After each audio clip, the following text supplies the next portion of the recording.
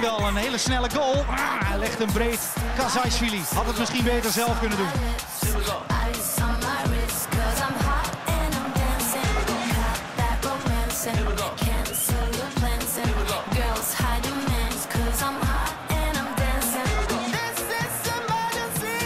Hier laat eh, Rashika zien dat hij wat kan.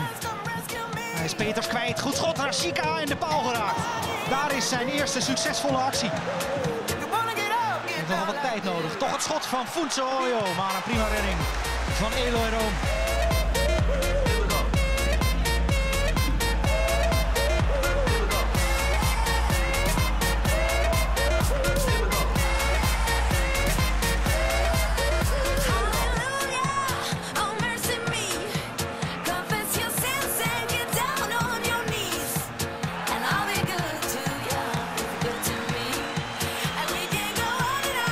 Ik tel altijd doelpunten voor dat het seizoen begint.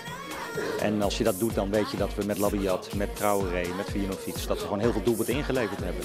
En ja, dat moeten andere jongens nu gaan opvullen. Eh, grotendeels jongens die er al bij ons waren. En, eh, en dat, eh, dat is niet makkelijk.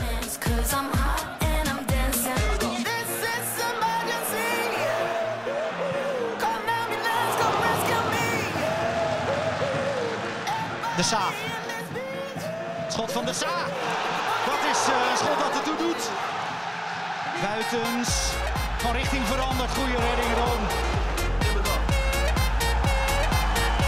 Hier is de hoekschop. Verlengd en doelpunt. Valkenburg maakt hem. Rashika.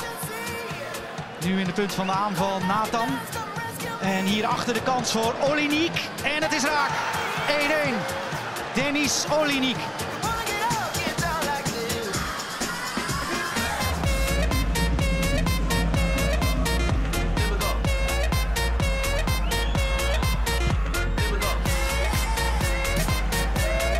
Mathieu krijgt een eh, tik in het gezicht. Rood, zegt de scheidsrechter.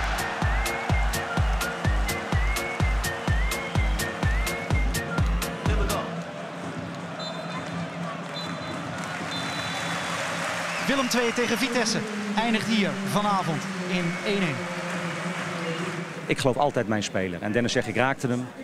Hij zegt, maar er was mij geen enkele intentie om die jongen eh, te slaan. En dan geloof ik mijn speler. En ik zie nu ook hoor, dat hij hem, eh, dat hij hem goed raakt. Dat hij me goed raakt, hè? Ja. Ja. Hoe, hoe vaak zou jij vroeger geschorst zijn, Hans? Eh, eh, ik wens je heel veel succes de rest van het seizoen, Peter.